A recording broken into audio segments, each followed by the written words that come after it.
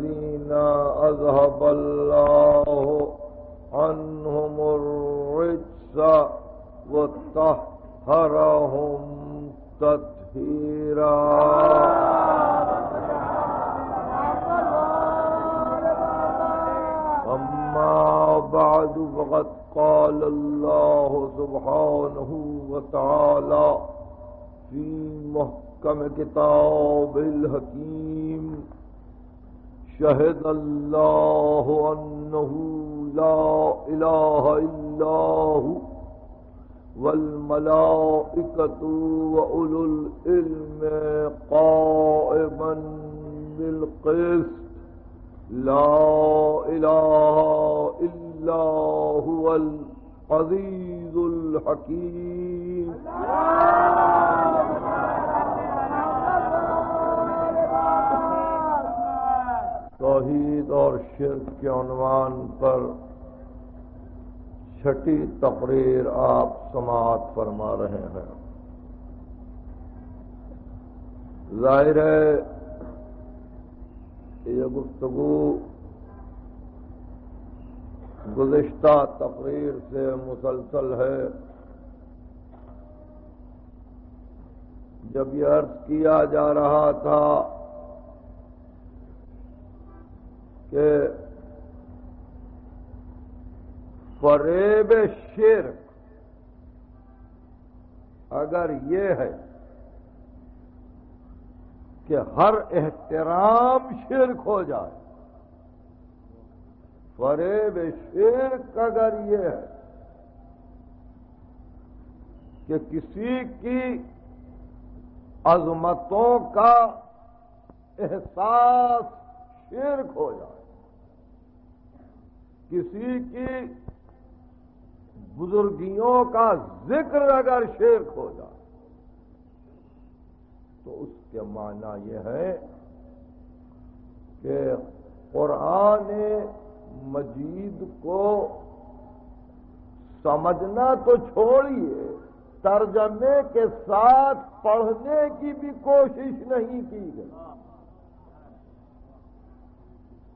और यही कि तेईस बरस के एक मुख्तसर से अरसे को जहाँ कुरान आलमीन के लिए रहमत बतलाए और जिस जात गिरामी को खुदावंद अली आला कुछ ऐसे अलकाब से याद करे कि जहाँ अगर किसी फरेब खुर्दा जहनीत के बचने का इम्कान है तो यही रह जाता है कि कुरान में तमुक न करो। कुरान की सिर्फ़ तिलावत कर लिया करो। उसके मानी व मफाहिम पे गौर न करो। ये न पूछो और ये न देखो कि खिताब किससे है, मुखातब कौन है और किसको दायरे वजूद में मरकज बनाया गया है?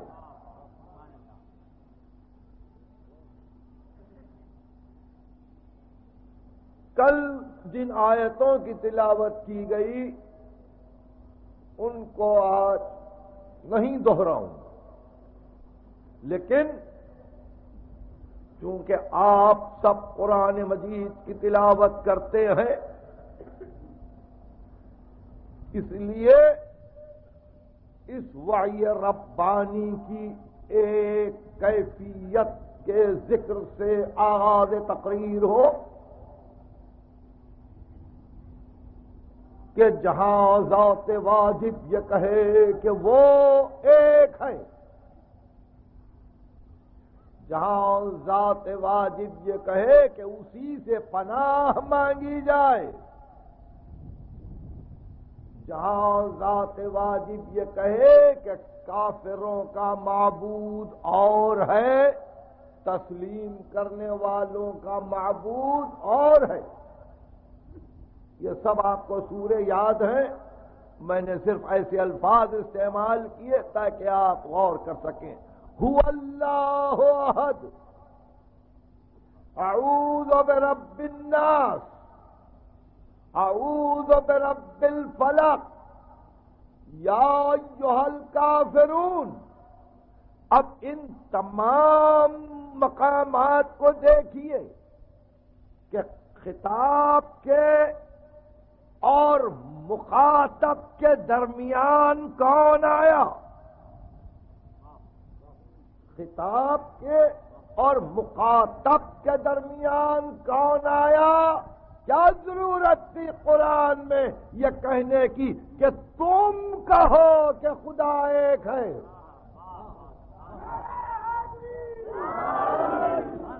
तुम कहो खुदा एक है।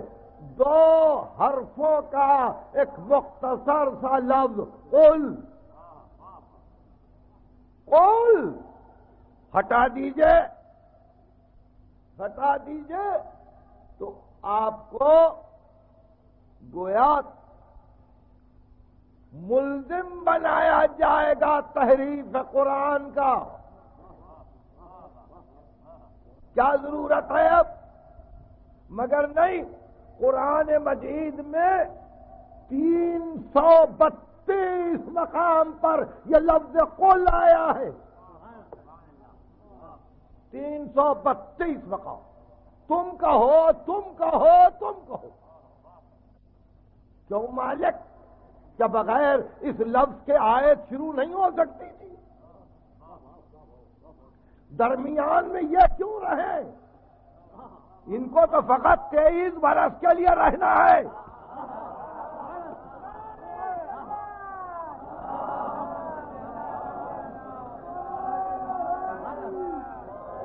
कुरान मजीद को कयामत तक के लिए एक वजूद इल्मी अता किया गया। और यहाँ तेईस बरस का जमाना, कुछ मक्के की नज़र, कुछ मदीने की नज़र। और उसमें वास्ता बनाया नबी को तो नबी तो मर गए। मगर वास्ता बाकी रहा। वास्ता बाकी रहा। अब अगर कोई नमाज़ आप इस तरह से पढ़े कि वो तो नहीं है। बिस्मिल्लाहमान रहीम अहद। आपको मालूम है कि नमाज़ बातिल है। अगर वो लफ्ज किताब न रहे, तीन सौ बत्तीस मकाम पर का कुल कुल तुम कहो। तुम कहो।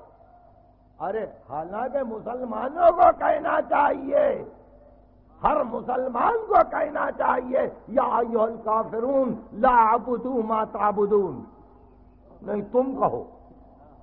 हर मुसलमान को कहना चाहिए, आऊज रबिन्नास मलिकन्नास इलाहिन्नास नहीं, तुम कहो।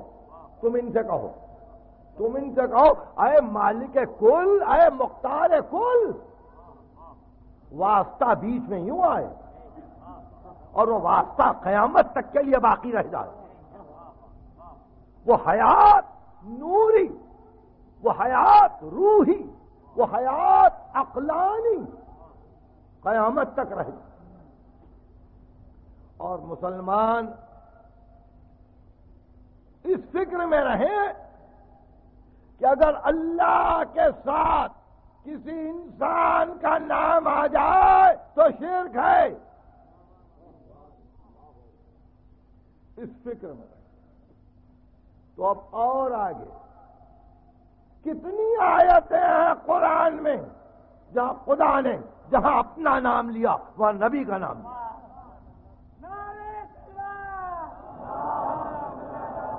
जहाँ अपना नाम लिया, नबी का नाम लिया। चौहत्तर आए थे, सत्तर पर चार आए थे। सत्तर पर चार आए थे, खसूसन नवा सूरा सूरह तौबा। जहाँ काफ़ी है कि अल्लाह का नाम। मगर नहीं। अजान बरातुम मिन अल्लाह व रसूल ही अल्लाह भी बरी, रसूल भी बरी। परवरदिगार, वो तो चले जाएगा ना। वो तो तेईस बरस के लिए आया है ना। बरातुम मिन अल्लाह व रसूल ही इन तुम मिन मुशकी अल्लाह बरी, रसूल बरी।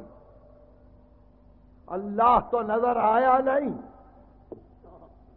रसूल हुए बरी रसूल हुए बरी तो रसूल जब बरी हुए तो दुनिया को ख्याल करना पड़ा कि रसूल के हट जाने में यकीनन यह बात पोशीदा है कि अल्लाह भी बरी है। दूसरी आयत, बरा अजान मिन अल्लाह व रसूल अल्लाह की तरफ़ से अजान, उसके रसूल की तरफ़ से अजान। हज अकबर के दिन। तीसरी आयत अल्लाह बरे मिनल मुशरकिन व रसूल फिर तकरार कि मुशरकिन से अल्लाह भी बरी है, रसूल भी बरी है। अल्लाह भी बरी, रसूल भी बरी, मुशरकिन से। तो फरे खुर्दा जहनीत अब तो अंदाज़ा करे कि अल्लाह, रसूल, मुशरकिन। यानी मुशरकिन जाने कि अल्लाह और उसका रसूल तुमसे बरी है, तुमसे बरी है। नाम बंदे का साथ लिया आपने। और कहा कि मैं, मेरा बंदा दोनों बरी हैं। और आगे बढ़ जाइए। इर्शाद हुआ कि मुनाफिक ये कहते हैं कि माँ वादन अल्लाह हो वो रसूल हो इल्ला गुरूरा। आज अल्लाह और उसके रसूल दोनों ने धोखा दिया। मुनाफिक कहते हैं तो मुनाफिक भी कम अज कम उस वक्त इतना जानते थे। मुनाफिक भी उस वक्त इतना जानते थे कि अल्लाह का कहा हुआ तो सुनाई नहीं देता। रसूल ने वादा किया था कि जंग में चलो, फतह होगी। तो मुनाफिक भी यह समझता है कि रसूल अपनी तरफ़ से नहीं कहता।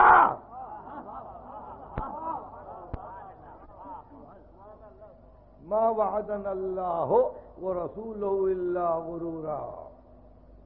और फिर आगे यही सूरा। इर्शाद हुआ और साहिबान ईमान ने कहा, हादा मा वादन अल्लाह हो वो रसूल हो यह है अल्लाह और उसके रसूल का वादा। और फिर कहा सदक अल्लाह हो वो रसूल हो अल्लाह भी सच्चा, रसूल भी सच्चा।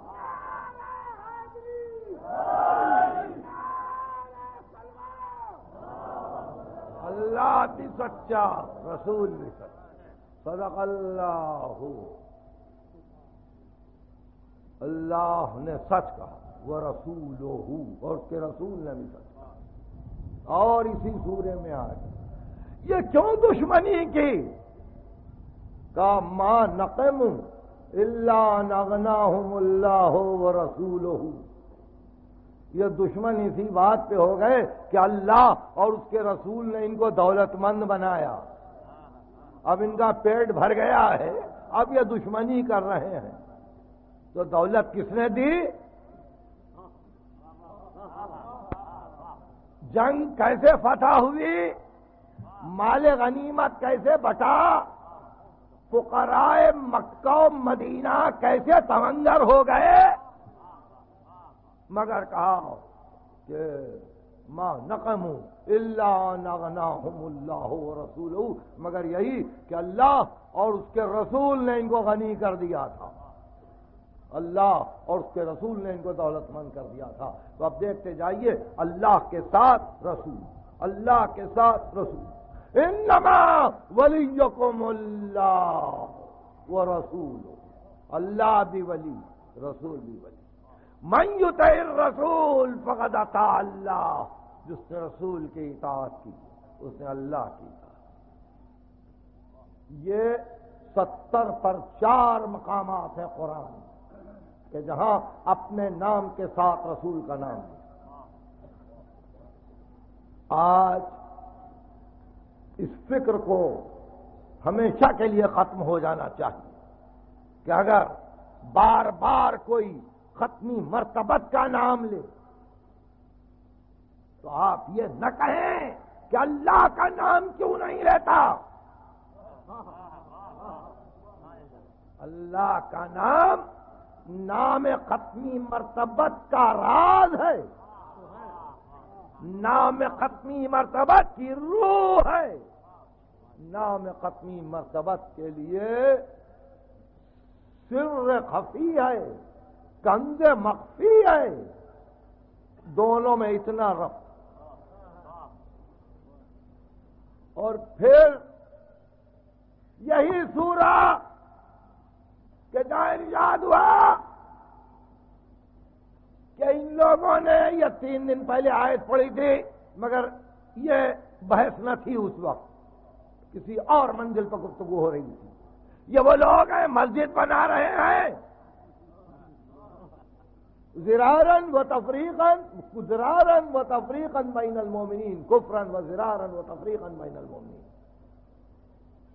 यह क्यों बना रहे हैं? देखिए, फिर अपने नाम के साथ रसूल का नाम लिया। इरसादन लेमन हारब अल्लाह व रसूल पनाहगाह बना रहे हैं जो अल्लाह और उसके रसूल से लड़े। किसकी मजाल है जो अल्लाह से लड़े? किसकी मजाल है जो अल्लाह से लड़े? कोई है वो दीवाना? जो गैर मरई ताकत के मुकाबिल में लश्कर आ रहा हो? नहीं। का रसूल अगर तुझसे लड़ता है तो पहले अपना नाम हम लेंगे।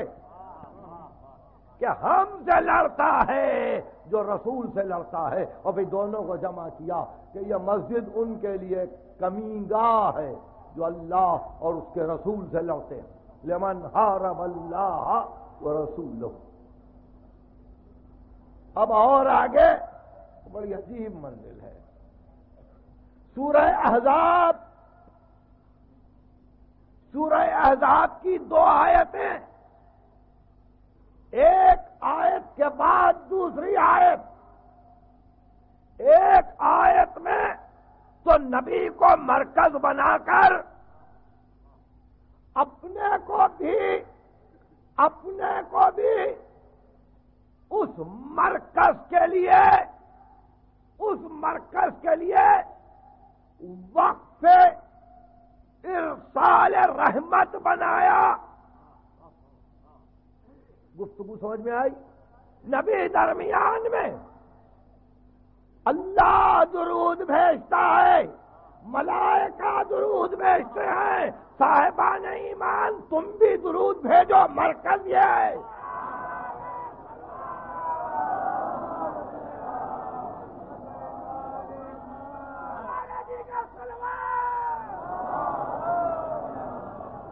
अल्लाह हय कयूम लम लायजाल मलायका, बड़ी तवील उम्र रखने वाले। साहेबान ईमान का सिलसिला कयामत तक बाकी। फकत नबी नहीं है मगर दुरूद भेजो। साहेबान ईमान दुरूद भेजो। किस पर? किस पर खबर पर। अब खत्म हो कब्र पर। नहीं। सल्लू अलई है। उस पर दुरूद भेजो। उस पर। उस पर। कि जिसको कब्र न मादूम कर सकी, न फना कर सकी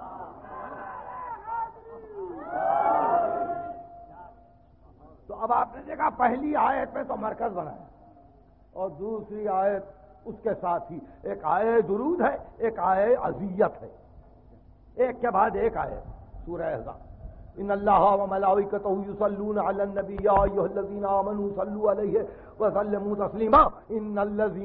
यूज़ून अल्लाह व रसूलहू। और वो लोग जो अल्लाह को अजियत देते हैं, रसूल को अजियत देते हैं। जो लोग अल्लाह को और उनके रसूल को अजियत देते हैं, कोई बात समझ में आई?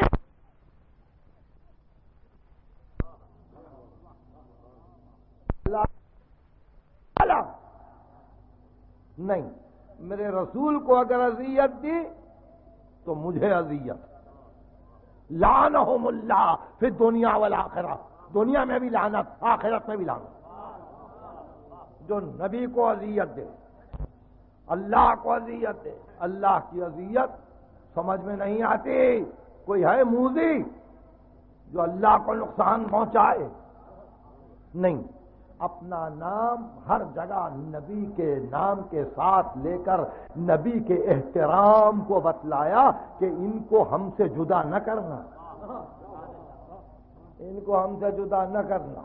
बेहमदिल्ला मुसलमानों ने हज किया।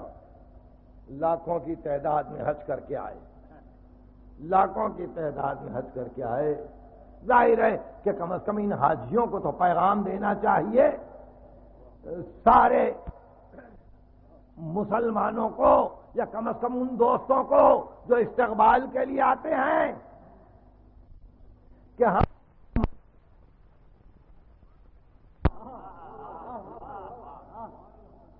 हम सिर्फ़ खाना वापिस नहीं हो गए।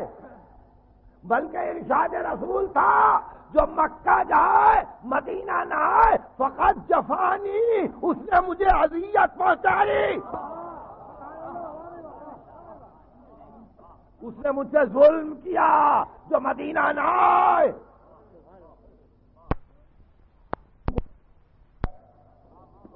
हज भी करे में आयत का कि क्या हशर हो। जो लोग अल्लाह और उसके रसूल को अजियत देते हैं, उनका अंजाम क्या है मालूम है आपको? और फिर हज के लिए जाए, मदीने को छोड़। क्या ज़रूरत है मदीने की? मदीने की वो हय कयूम लम यजर लाएजाल का मकान है, वहाँ चलो। ये तो मर गए। नहीं जाओ। अब आप जब जाते हैं तो वहाँ वहाँ क्या करते हैं? वहाँ जाके कब्र के पास आज भी खड़े होते हैं। माहियत सलाम को जाने या न जाने। उनको यह कहना पड़ता है, अस्सलाम या रसूल अल्लाह अलय का तुझ पर भी और या भी। जो दोनों हुजूर के लिए हैं, गैब के लिए नहीं। अस्सलाम या रसूल अल्लाह सलाम हो तुझ पर अल्लाह के रसूल। और फिर उसके बाद सूरह निसा की आयत को पढ़ना पड़ता है। और वो आयत ये है कि वो लोग जो गुनाह पर गुनाह करे, वो जाऊ का और तेरे पास आए। वस्तगफरुल्लाह और अल्लाह से तलब मफरत करे। वस्तगफर लहुमुर रसूलो। और उनके लिए अगर रसूल तलब मखफरत करे, लवजदुल्लाह तवाबन रहीमा तो अल्लाह को वो तौबा का कबूल करने वाला पाएँगे। फकत उनके तलब मखफरत से नहीं। जब तक के तू सिफारिश न करे, अरे वो मर गया ना। आज आज ये सूरह निसा की आयत कब्र पर पढ़ी जाती है। जाऊ का वस्तफरुल्लाह वस्तफर रसूलो, लवजदुल्लाह तवाबन रहीमा, जो तेरे पास आते हैं। जाऊ का तेरे पास आते हैं और अल्लाह से तलब मफरत करते हैं। ये कंस्ट्रक्शन समझ में नहीं आता। आते हैं तेरे पास। तलब मफरत करते हैं मुझसे। मैं कैसे मान लू जब तक कि तू दरमियान में ना आए?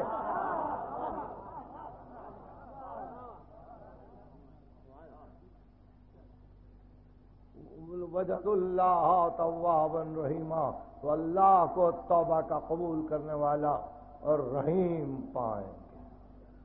तो अब आपने देखा कि क्या जहमत है इंसान के लिए?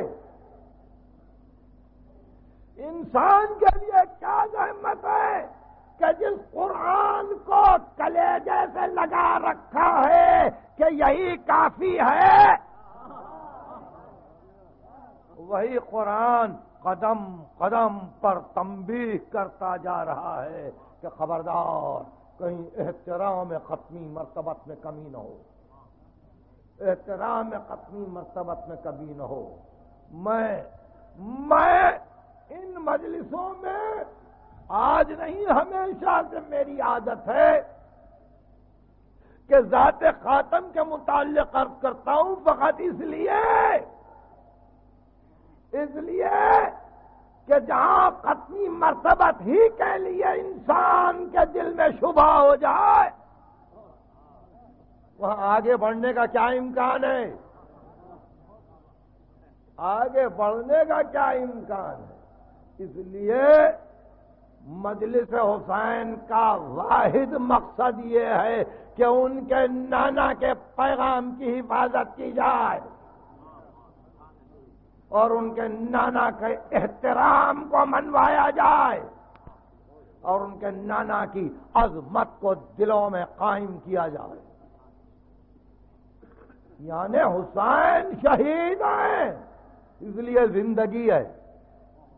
तो जब तक वो बजाहिर बजाहिर आलम हयात में थे, जब भी उनकी यही तमन्ना थी कि कोई नाना के हुक्म के खिलाफ न जाए। लड़ पड़े इसी बात पर। उलझ गए इसी बात पर कि नाना जिसको हराम करार देता है, ये उसको क्यों हलाल करार दे? और जान दे दी। सर कटा दिया, शहादत पाई, हयात जावेदा ले ली। हयात जावेदा का वही मकसद था, जो हयात दुनियावी का था, कि नाना का एहतराम, नाना की अजमत। अब अगर नाम खत्मी मरतबत का बार बार लिया जाए तो क्या कोई इतनी तमीज नहीं कर सकता कि वह खुदाओं का तस्करा नहीं है? खाल कुल एक है, जो वही आई। इन्नमा अना बशरुम युहा इलैया, अन्नमा इलाहुकुम इलाहुन वाहिद। मुझसे वही आई है कि तुम्हारा खुदा एक है, मुझ पर वही आई। तुम पर नहीं, मैं कह रहा हूँ खुदा एक है। मगर मैं अब हूँ अब हूँ। मैं उसका बंदा हूँ, मैं उसका बंदा हूँ। वो तो हय कयूम है। उसकी बका का क्या कहना? मगर मेरी बका को तो देखो, मैं न रहूँगा, फिर भी बाकी।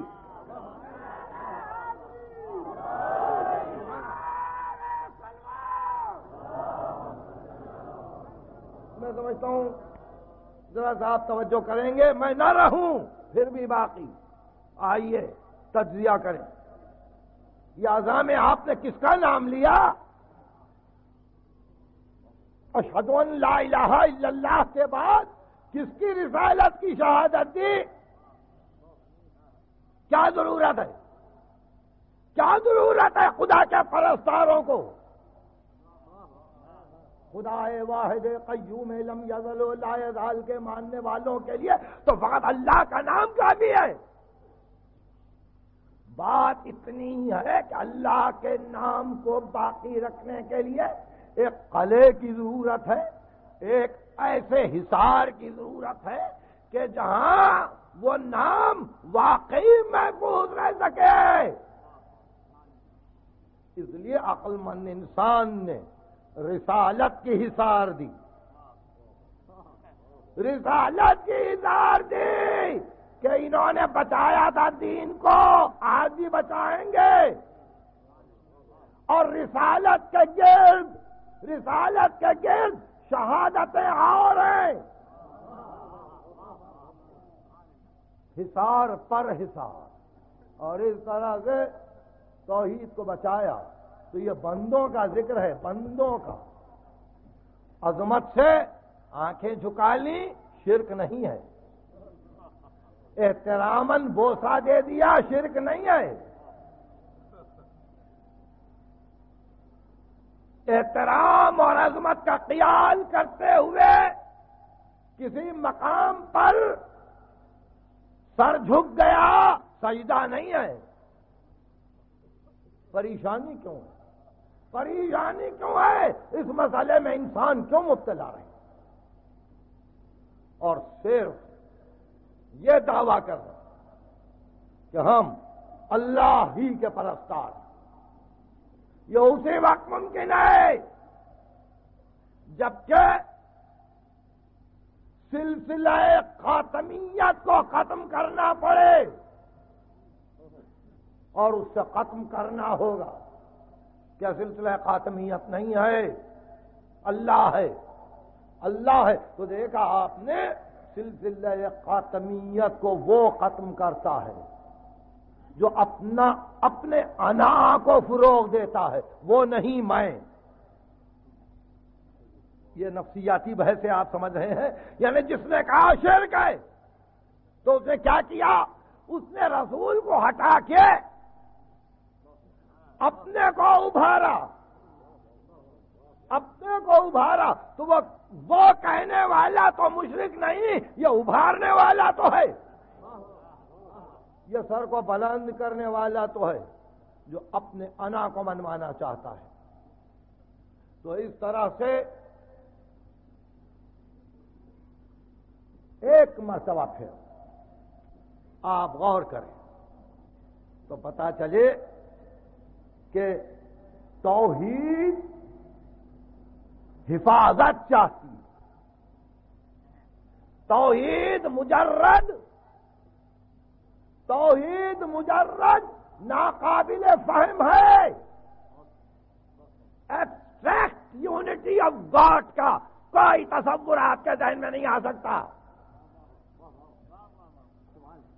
इसी वास्ते आपने कहा एक अर्श है, एक कुर्सी है, एक उसका तख्त है, एक बैठने की जगह है, उसके निगहबान है, उसके फरिश्ते हैं उसका एक मकान है, मकान पे खिलाफ है। उस मकान के गिर्द अतराफ फिरना चाहिए।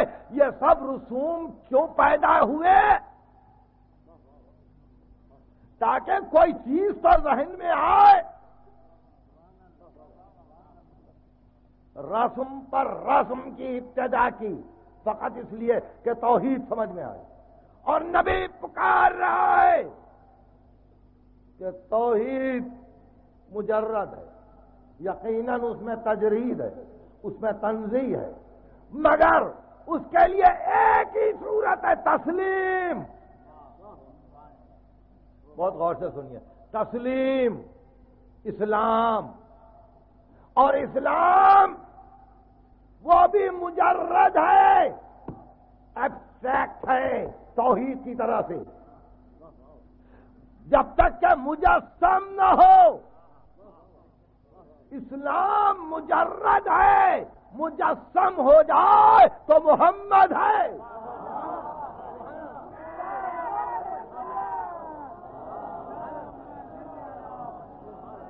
इस्लाम मुजर्रद है, मुजस्सम हो जाए तो मोहम्मद है।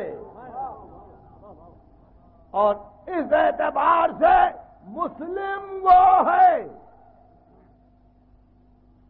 जो खत्मी मरतबत के अहकाम पर चून चरा किए बगैर तस्लीम के साथ आगे बढ़ जाए। और जो ये न कहे कि ये क्यों? इसलिए कि अगर आज आपकी जबान से ये जुमला निकल गया कि हमने इस्लाम को जमाने की कैद से आज़ाद कर दिया। वो जो आनी, पानी, मकानी, जमानी मसाले थे कि जिसकी बिना पर बहुत सी चीज़ों को उस वक्त नाजायज करार दिया गया था, आज वो जायज़ है, अगर ये कहने की कोशिश की। तो उसके माना ये, उसके माना ये कि आप कलमे का सिर्फ़ पहला जुज पढ़िए और दूसरे जुज की जगह अब अपना नाम रख लीजिए। इस वास्ते कि यह आपका पैगाम है कि वक्त बदल गया, हालात बदल गए काम बदल दो। जहाँ ये गलती की मिल्लत ने, ज़ाहिर है कि उसके लिए सिवा रसवाई के और कुछ नहीं। सिवा रसवाई के और कुछ नहीं। मिल्लत की एक जहती इसी में है कि जिसको दायरे इम्कान में खालिक ने मरकज बनाया, उसकी मरकजियत को बाकी रखा जाओ कहने को तो सब कहते हैं लौलाक मगर माना भी समझ में आए, तू न होता तो आसमान और ज़मीन न होते। और तू आज अगर न रहे तो? तू आज अगर न रहे तो वही कैफियत है। दुनिया कल अदम हो जाए। दुनिया कल अदम हो इसलिए खत्म मरतबत पर निगाह जमती है। निगाह जमती है। इसलिए कहा, बशरुन मिसलकुम।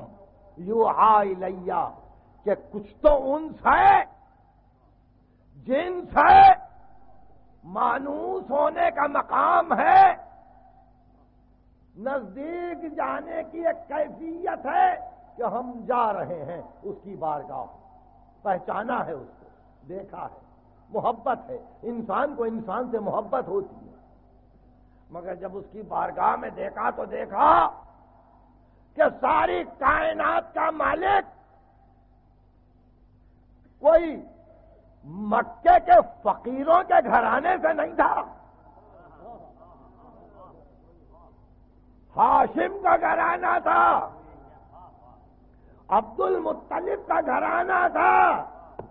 खतीजा की दौलत थी। और उन सब के बावजूद, उन सब के बावजूद वो कहते थे कि मैं उस गनी का बंदा हूँ। उस गनी मुतलक का बंदा हूँ कि अपने आप को हमेशा फक्र में पाता हूँ फे काफरे। और उसके लिए कहा, अल फक्रो फखरी। मेरा फक्रो फाका, मेरा फक्र है। अपने फक्र का दावा किया और बतलाया कि मेरे फक्र को देखो। फक्र के माना हवस नहीं है, लालच नहीं है, दौलत दुनिया पे नज़र नहीं है, वजाहत दुनिया की फ़िक्र नहीं है, बल्कि वह मंजिल है कि अच्छा तुम लोग सबके सब दौलतमंद बनो। तुम जो चाहे ले लो, ये गनीमत माल गनीमत है। ये हुनैन का माल गनीमत है, ये खैबर का माल गनीमत है, ये कंदक का माल गनीमत है। ले लो। मेरे लिए तो फख्र पसंद है। तो आपने देखा कि फख्र की मंजिल क्या है? फक्र की मंजिल ये है कि जहाँ इंसान ये गौर करे, ये गौर करे कि फक्र की हकीकत वजूद इसके और कुछ नहीं, कि बरदो हरफ लाइला पेचीदा नस्त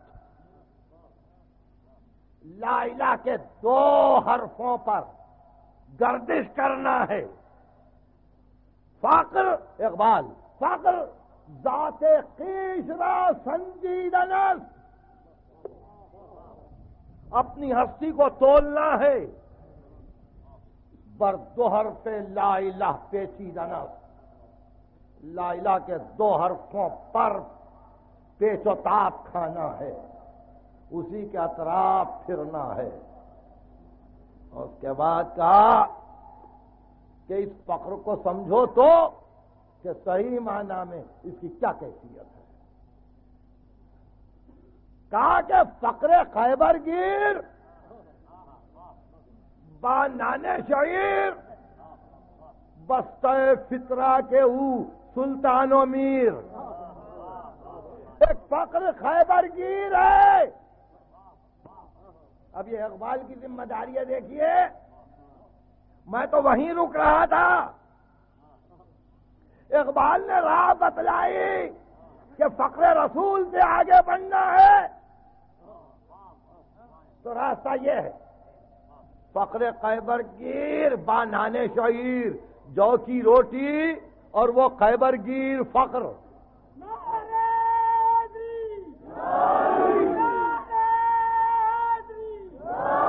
फक्र कैबर गिर बानाने शहीर।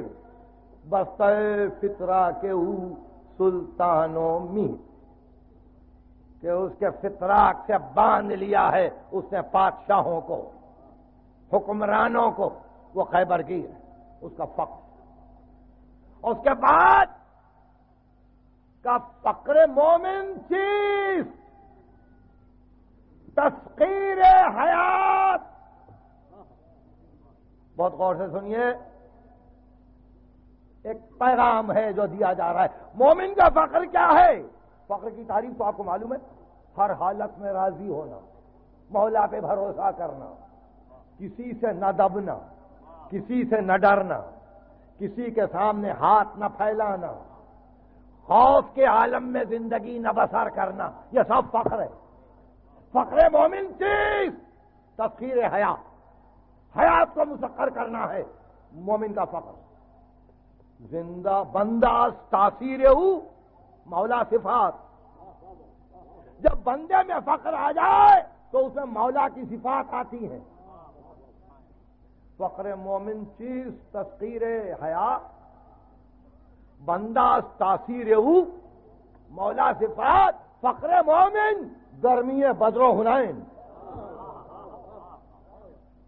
फ़क्र अब देखा इकबाल फ़क्र मोहम्मद से निकले फ़क्र खैबर गिर पर आए, और मिसरे का काफिया आने वाला क्या पुकार रहा है? फ़क्र मोमिन गर्मी बदरो हुनैन। फ़क्र मोमिन, बांगे तकबीर हुसैन।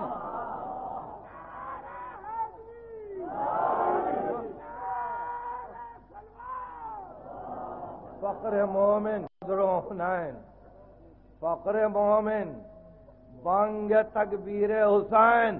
फारसी है। बहुत से भाई फारसी न समझ सके होंगे। इसलिए उर्दू एक फक्र है शब्बीरी उस फक्र में है मीरी। मीरा से मुसलमानी सरमाए शब्बीरी। ये तो याद रखेंगे आप। एक फक्र है शब्बीरी, उस फक्र में है मीरी। मीरा से मुसलमानी। अब ये अकबाल की ज़िम्मेदारी है। शायर मशरक है हकीम उम्मत है। पाकिस्तान के तस्वुर का देने वाला है, जिसके पैगाम को हमारे सुफरा आम कर रहे हैं। मीरा से मुसलमानी, सरमाया शब्बीरी, शब्बीर का सरमाया मुसलमान के लिए मीरास है। शब्बीर का सरमाया। शब्बीर का सरमाया यही है। शब्बीर का सरमाया यही है। कि तेरे ला चुनजमिया बेरू कशीद। अजरगे अरबाब बातिल खूं कशीद। नक्शे इल्लल्लाह पर सहरा नबी।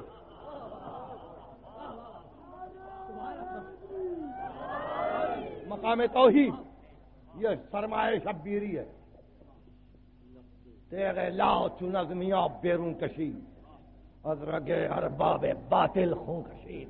बातिल के खुदाओं से। बातिल के खुदाओं के गले काट दिए जब लाठी तलवार निकाली।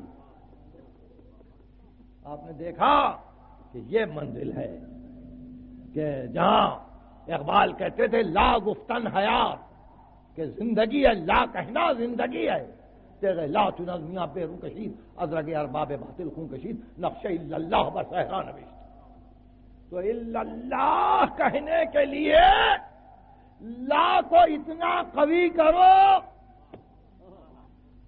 इतनी कुत पैदा करो कि शान फख्र नज़र आए। कि शान फख्र नज़र आए। मीरा से मुसलमानी सरमाए शब्बीरी। फकर मोमिन, गर्मी हंग गर्मी बदरों होना फक्र मोमिन, गर्मी बदरों होना फक्र मोमिन, बंग तकबीर हुसैन।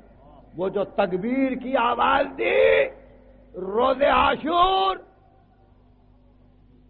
तो फक्र शब्बीरी है। मगर इकबाल ने यकीनन इतना वक्त नहीं पाया कि वो अंदाज़ा लगाते कि वो तकबीर की आवाज़ किसने दी थी। वो आवाज़ हम शक्ल रसूल ने दी।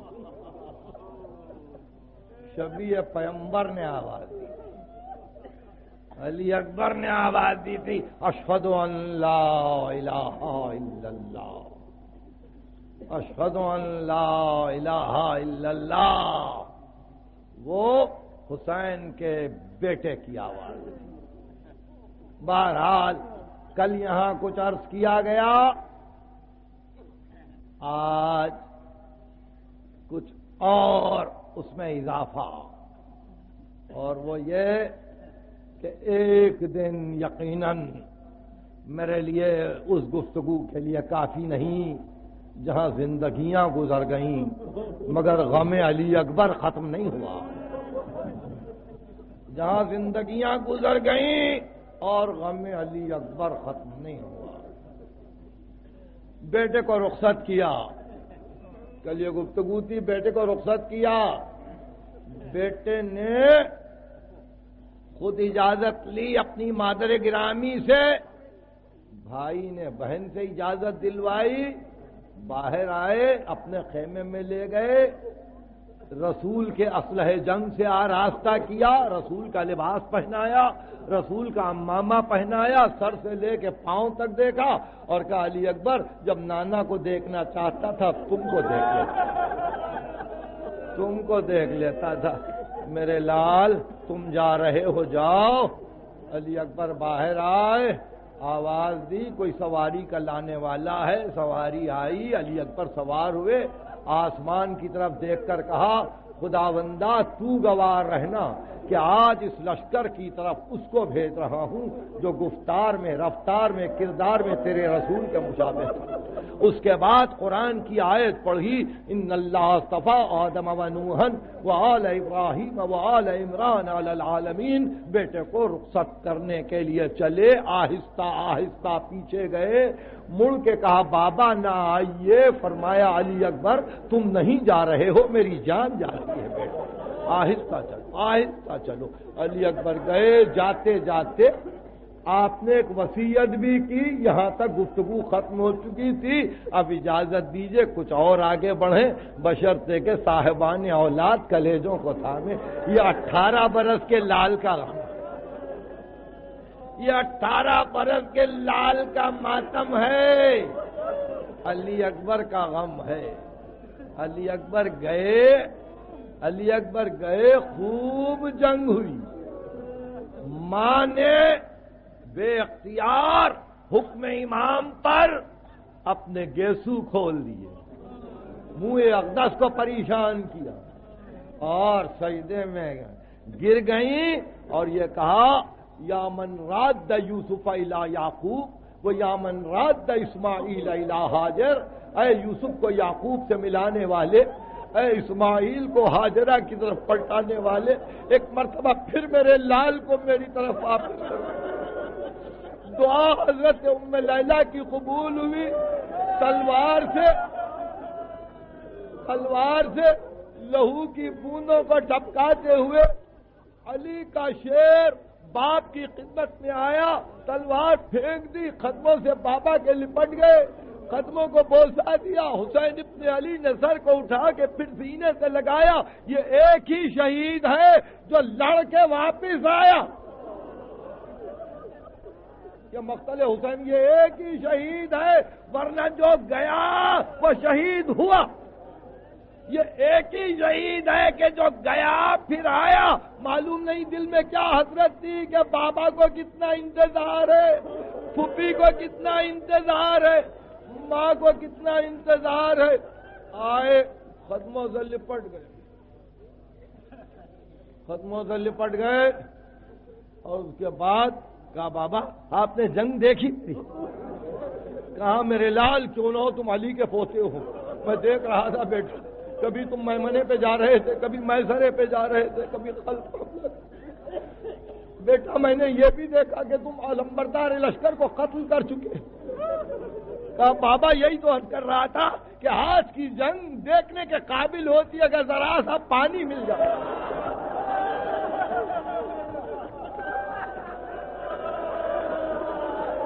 जरा सा पानी मिल जाता बाबा।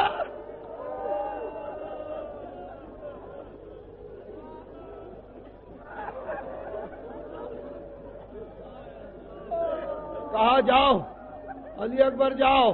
साकी कौसर सैराब करेंगे बेटा गया। साहिबान औलाद, सुने? और मैं मौला की बारगाह में इस मस्जिद को नज़र कर रहा हूँ।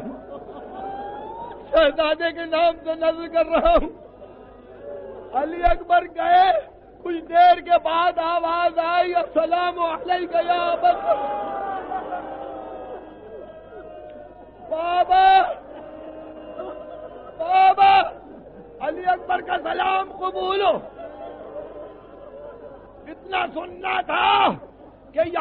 भाभी कह के उठे। पर्दा उठा के बहन ने भाई को देखा। जो अज़ीज़ रह गए थे, उनको निगाह जलाल से रोका के खबरदार, कोई ना आना, आज हुसैन अपने सब्र का इम्तिहान देगा।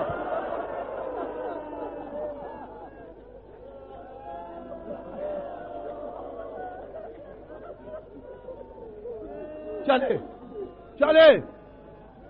अली अकबर घोड़े पे गए। सवार गए। हुसैन पियादा पा गए। घोड़े पे सवार नहीं थे। अब पुकारते हुए चले, अली अकबर, आवाज़ तो दो। अली अकबर, आवाज़ तो दो। किधर हो बेटा? किधर हो? और वहाँ बेटा, जिधर में बर्छी और हिचकियाँ खुदा किसी बूढ़े पाप को जवान बेटे का लाशा न दिखा।